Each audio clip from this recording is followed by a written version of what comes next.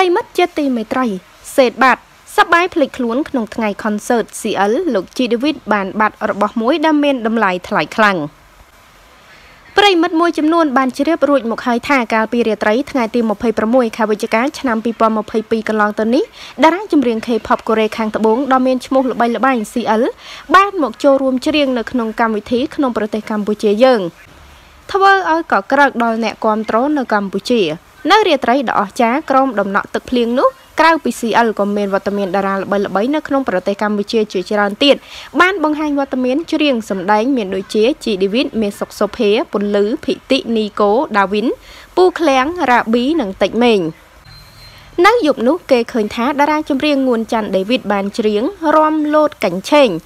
បង្កបរិយាកាសរីករាយនៅរាត្រីនោះតែអ្វីដែលគួរឲ្យសោកស្ដាយស្រាប់តែថ្មីថ្មីនេះលោកបានប្រកាសថាលោកសបាយពេកបានជ្រុះបន្តោងខ្សែកអក្សរជីបាត់នៅសល់តែ David ប៉ុណ្ណោះជាមួយគ្នានេះបើតាមគណនី Facebook My Ditway បានបញ្ជាក់នៅយប់ថ្ងៃទី28ខែវិច្ឆិកាថាខ្សែកបងវិតជ្រុះអក្សរជីថ្ងៃ concert CL រំលោតខ្លាំងខ្លាំងពេកបើមានអ្នករើសបានចង់ឲ្យអាយដល់វិញចាំតាក់តងមកគាត់ផងណាឬពេកហាងលក់គ្រឿងអលង្ការសេងចិន្តាបងវិតថាបើចង់យកទៅលក់លក់នៅហាងសេងចិន្តាបាន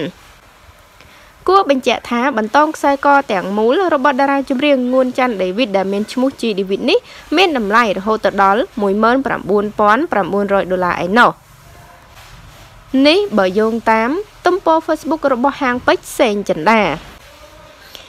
ចានៅក្នុងកម្មវិធី concert របស់ CL កាលពីថ្ងៃទី26គឺថា G David ពិតជារំលោតកញ្ឆេងសបាយមែនទែនពេលដែល idol មកកាន់ប្រទេសកម្ពុជា ហើយសបាយសបាយភ្លេចខ្លួនក៏បានជ្រុះបន្តោង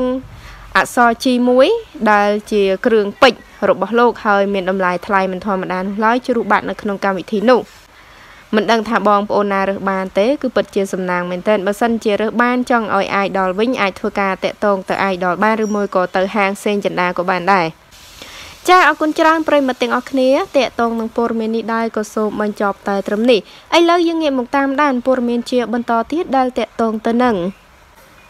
លោកខេមងាកទៅចាប់ដៃជាមួយនឹងខ្មែរមួយជីវិតតារាចម្រៀងប៊ុនសុណារិនហៅខេមបានត្រៀមខ្លួនចេញបទថ្មីជាមួយនឹងតារាចម្រៀង hip hop ជាអ្នករ៉េបល្បីល្បាញម្នាក់ដែរគឺខ្មែរមួយជីវិតដែលពួកគេបានជួបគ្នាលើទឹកដីអាមេរិកកាលពីពេលថ្មីថ្មីនេះ។ សម្រាប់ខេមវិញបាននាំភរិយាលោកអ្នកនាងស្រីកាទៅអាមេរិកតាំងពីថ្ងៃទី4តុលាដែលលោកទៅដើរលេងផងច្រៀងផងខណៈដែលខ្មែរមួយជីវិតវិញបានទៅអាមេរិកតាមរយៈ sponsor មួយដើម្បីធ្វើការងារសិល្បៈក្នុងវីដេអូមួយខ្មែរមួយជីវិតបានឲ្យដឹងថាលោកបានដកខ្លួនពីសិល្បៈមួយរយៈព្រោះជាប់កិច្ចការងារផ្ទាល់ខ្លួនហើយពេលទៅដល់អាមេរិកនេះក៏បានជួបតារាចម្រៀងល្បីម្នាក់មកពីកម្ពុជានិងត្រៀមខ្លួនធ្វើការងារថ្មីជាមួយគ្នាទៀតផង។ បើទោះជាខ្មែរមួយជីវិតមិនបានបញ្ជាក់ថាអ្នកចម្រៀងមកពីកម្ពុជាដែលលោកក្រុងចេញនឹងបទថ្មីរួមគ្នានោះគឺជាតារារូបណាក៏ដោយតែតាមព័ត៌មានថាម្នាក់នោះគឺលោកសុនរិនហៅខេមតែបទចម្រៀងតារាទាំងពីរចាប់ដៃគ្នានោះនឹងចេញនៅក្រៅផលិតកម្ម Galaxy ក្រោយមានដំណឹងថាខេមចាប់ដៃគ្នាជាមួយខ្មែរមួយជីវិតនោះក៏មាន fan មួយចំនួនបានគ្រប់គ្រងហើយចង់ឃើញតារារ៉េបរូបនេះคล้ายទៅជាតារា Galaxy ទៀតផងខណៈដែលកន្លងមកមហាជនបានស្គាល់និងចាប់អារម្មណ៍ខ្មែរមួយជីវិតដែលច្រៀងវេប្រហា District ចំចំទៅលើងួនច័ន្ទ David ជាបន្តបន្ទាប់តែលោកបានបាត់ខ្លួនទៅវិញអស់រយៈពេល3ឆ្នាំហើយទៅតែពេលនេះលេចមុខធ្វើជាដៃគូរបស់លោកខេមតែម្ដង។ ទស្សនិកជនរងចាំមើលថាតើខេមជាតារាសំនៀងស្អកនេះមានសមត្ថភាពអាចច្រៀង rap ជាមួយខ្មែរមួយជីវិតនិងដៃគូល្អនិងគ្នាដល់ស័ក្តិសមដែរឬទេព្រោះថាកន្លងមកលោកខេមក៏ជាតារាម្នាក់ដែលអាចច្រៀងបានជាច្រើនទម្រង់ផងដែរតែលោកមិនដែលសាកល្បងបទ hip hop នោះទេគឺទៅតែពេលនេះពួកគេជួបគ្នានៅក្រៅស្រុកស្រាប់តែចង់សាងភាពភ្ញាក់ផ្អើលតាមរយៈការច្រៀង rap រួមគ្នាជាលើកដំបូងតែម្ដង។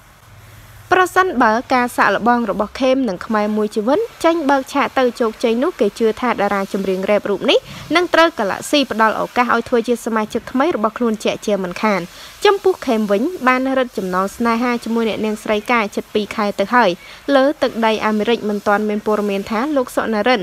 បណ្ដើនារីអនិកជនខ្មែរបារាំងរូបនោះមកស្រុកពេលណានោះទេព្រោះពួកគេអាចនឹងបង្ហោះទៅដល់លេងប្រទេសជិតខាងអាមេរិកទៀតផង។